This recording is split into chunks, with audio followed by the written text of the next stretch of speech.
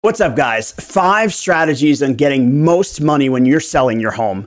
Think about it in today's market you should be figuring out who's the best real estate agent to represent me. With so much going on, there's a lot of uncertainty as to why you would hire a real estate agent. Well, that's exactly what they should be able to accentuate for you as your agent. They're going to do things like positioning your home in the market, timing the position to make sure they're maximizing your productivity. And when that opportunity comes, they're going to be negotiating to put your best foot forward.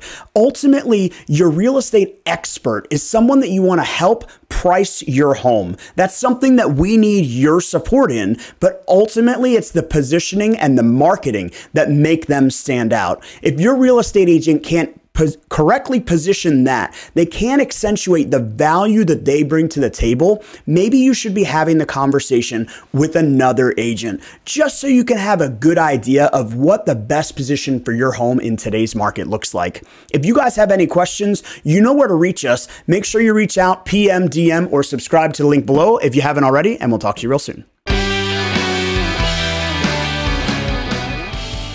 What's up, guys? Thanks for watching. For more information on the housing market, Real Estate 101, how you can leverage your position in today's market, and so much more, click on the link below.